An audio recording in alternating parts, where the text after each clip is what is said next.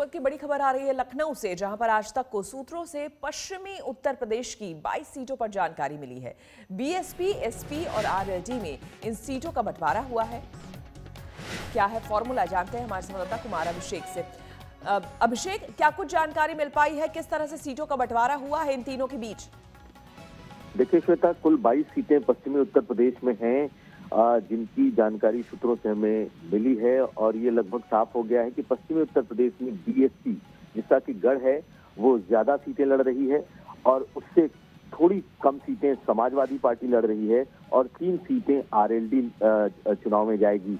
बाईस सीटों में ग्यारह सीटें बीएसपी लड़ रही है, जिसमें नोएडा, गाजियाबाद, मेरठ, बुलंदशहर, आगरा, फतेहपुर, सीकरी सहारनपुर, अमरोहा, बिजनौर, नगीना और अलीगढ़ की सीटें बीएसपी के कोटे में हैं, जबकि बागपत, मुजफ्फरनगर और मथुरा, इन सीटों पर, इन तीन सीटों पर आरएलडी चुनाव लड़ेगी और बाकी आठ सीटें जो हैं, वो समाजवादी पार्टी लड़ेगी, जिसमें हाथरस, कैराना, मुरादाबाद, संबल, रामपुर, मैनपुरी, फिरोजाबाद और एटा।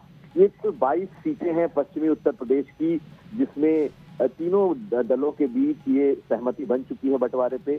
अभी कैंडिडेट का अनाउंसमेंट नहीं है, लेकिन जो सीटों का बंटवारा है, वो लगभग तय हो चुका है।